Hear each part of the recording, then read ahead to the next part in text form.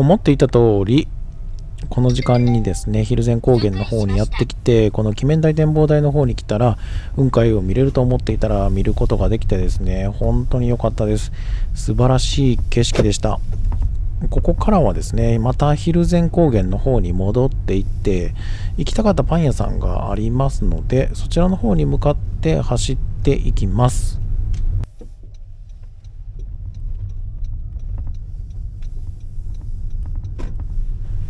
ただ、パン屋さんのオープンする時間というのは9時からで、まだ今8時半ぐらいですかね。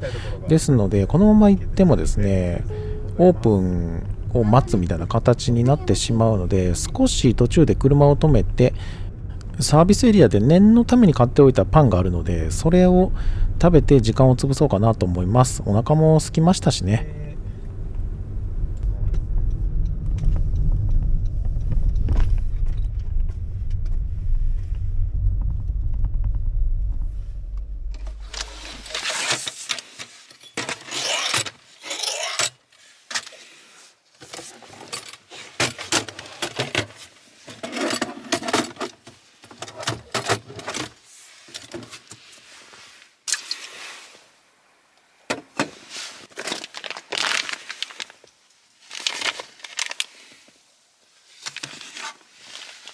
目的は違うパン屋さんに行くことなんですけどね。まだパン屋さんも開いてないですし、お腹も空いたので、ここでですね、これ、全カフェオレパンいただきます。もう外ですね、スライドドア開けてたら、綺麗な景色を見ながらですね、お食事をすることもできます。まあちょっとだけですけど、いただきます。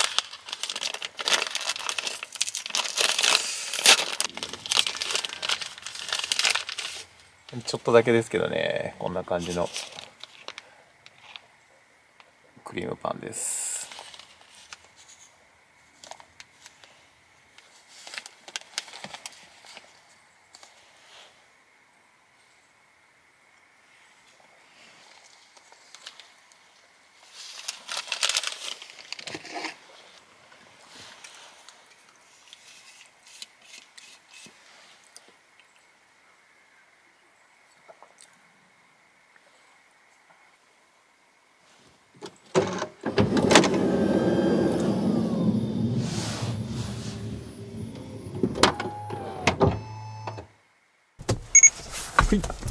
で時間が8時57分になったので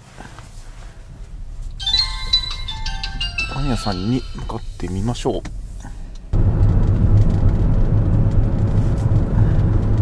もうねスピードがノリノリになってしまいます。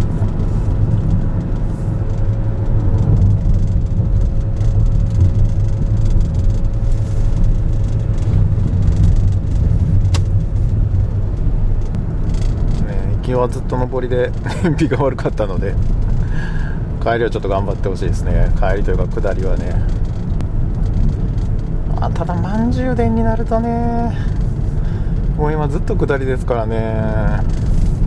アクセルを踏む必要がないと。あでも綺麗だな。以前に下っていく方も綺麗ですね。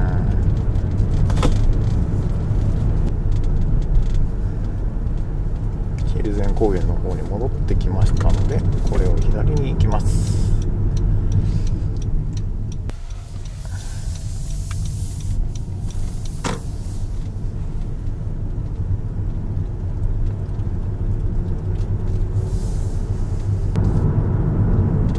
わあこんなところにあれなんだ。なんだっけあれ。グランピング施設か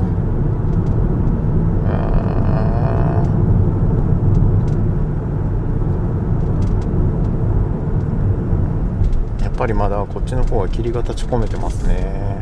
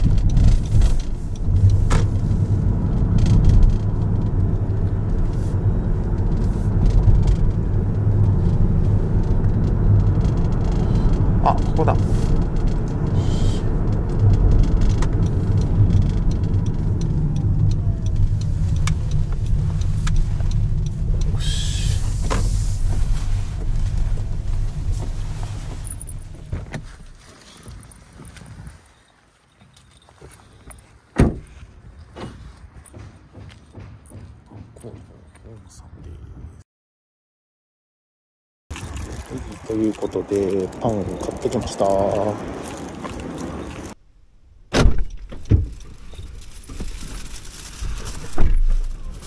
続いてはこのまま道の駅の方に向かいます。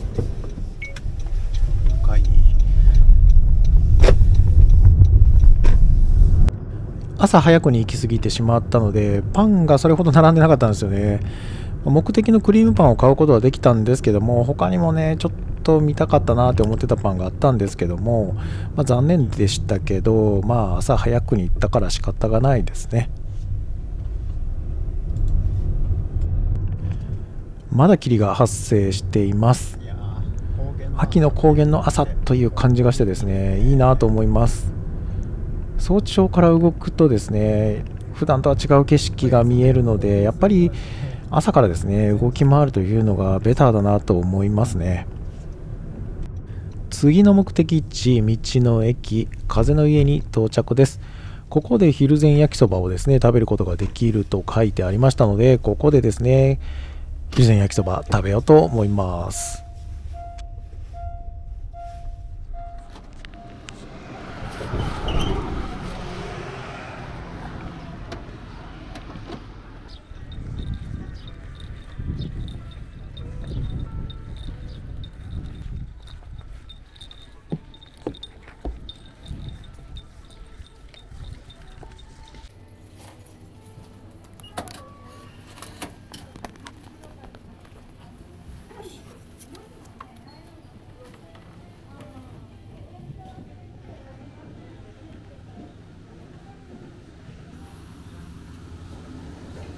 願いします。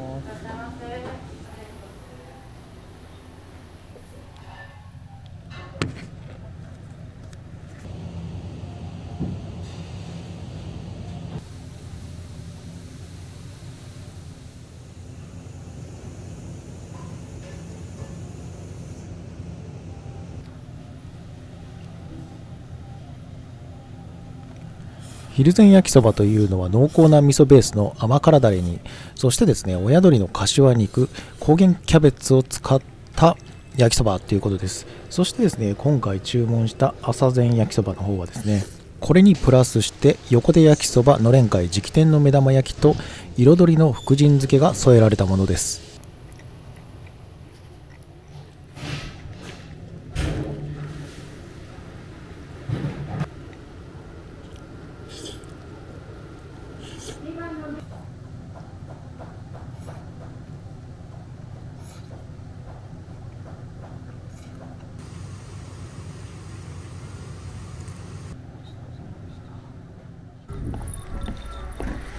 朝鮮焼きそばを食べた後はですね農産物直売所に行って蒜前大根を買ってきました。蒜前大根甘くて美味しいということなんですよね。この大根を使って家に帰ってですね大根カレーを作ろうと思います。大根とカレーの組み合わせが大好きなんですよね。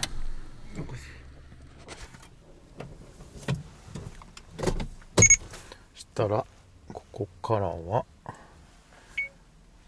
うね食べてばっかりですけど 蒜前の方におやつ食べに行きましょう。わざわざジャージーランドに行かなくても買えるんですけどわざわざジャージーランドに行って買えます。買えますじゃない買います。で先ほどのところですね道の駅で昼前焼きそば食べましたけど、うん、十分美味しかったです。昼前焼きそばというか朝前焼きそばですね。味噌ベース鶏で卵が乗ってるみたいな感じですかね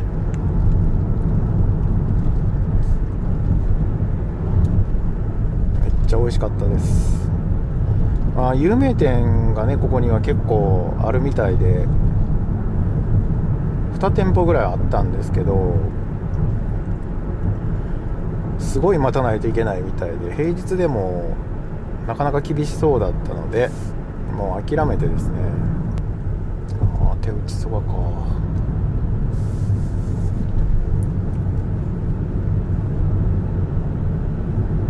諦めてで道の駅朝早いんで9時半ぐらいに店が開いて食べることができるのでそっちの方がいいなと思ってですね。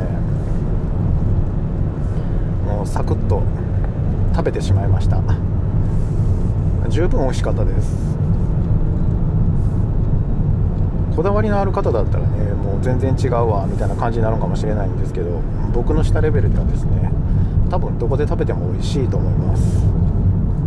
っていうか最近どこで食べても美味しくないものを食べる方が難しいぐらいになってきてますからね。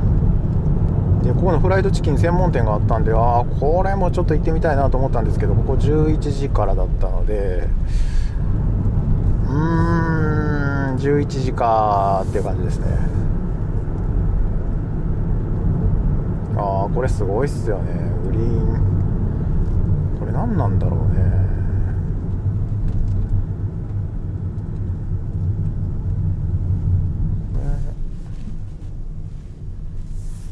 いけんのかな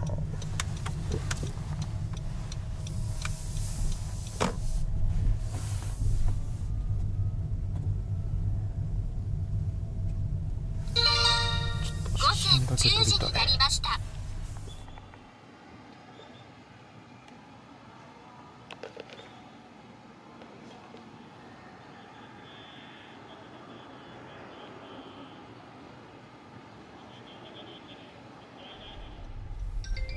この施設はグリーナブルヒルゼンという場所でお店があったりとかミュージアムがあったりとかですねそういう感じの建物になるようです修学旅行生がちょうどいたのでですね中に入るのが難しかったのでそのまま寄らずにですね写真だけ撮って先に進みます。めちゃくちゃいいよね本当に。その辺にゴザ引いて寝 転がるだけでも十分癒される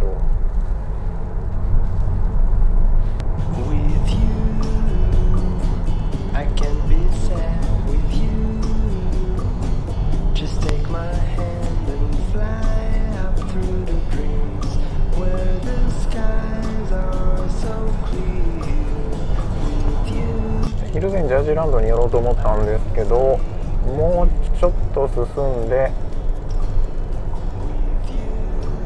冷戦の潮釜、うん、なんかそんなんがあってそういえばそこ行きたかったなと思って行こうと思ってたなと思って。一応チェックはしてたんですよ。ここから2 9キロか。なのに忘れてるという。ちょっと行ってみます。思い出したので。with you. It's been so cold since you もうついてもおかしくないぐらいなんだけども。うーんか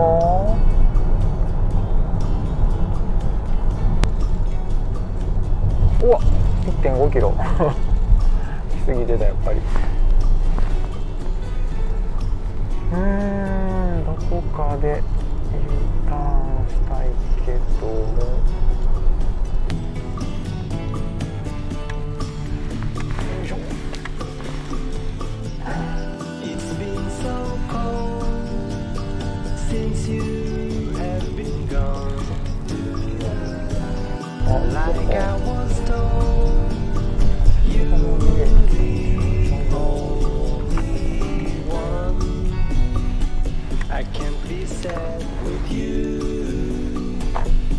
take my hand and fly up to the clouds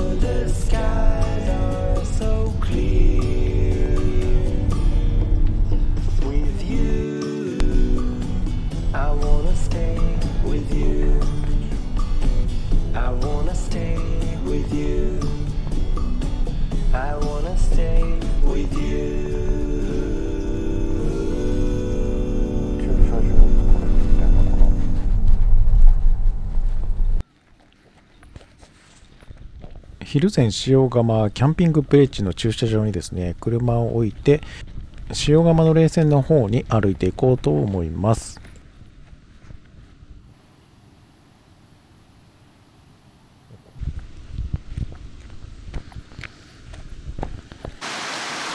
途中で魚の養殖か何かしてたと思うんですけどもまあ水が綺麗です。思わず撮影してしまいました。駐車場からそれほど歩かずに塩釜の冷泉はあります。キャンプ場と一緒になっていますのでキャンプ場の方はですね入るなということが書いてありました。すごくいい雰囲気です。